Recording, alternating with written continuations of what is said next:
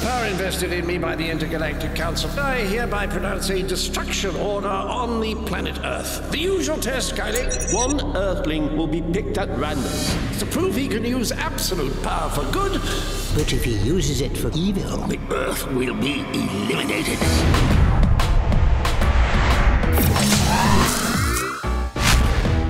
Suppose there was one thing you could do would change your life for the better. Oh, that's easy. I would be able to see Catherine from downstairs.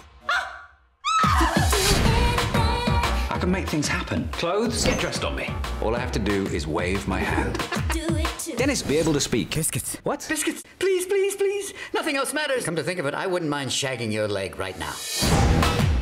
I could solve every problem in the world. Have you thought this thing through? Dog mess, clean yourself up. it's clear he has no idea of doing any good whatsoever. Let me have a really great body and a really big. Ah! Ow! Not that big, obviously. I was being selfish. I could have made people happy. Let everyone who died be alive again. Ah! Not everyone who's died ever. Are you crazy? Me be president of the United States. Here are the briefing papers for Syria, the deficit, Israel, and the Middle East. Jesus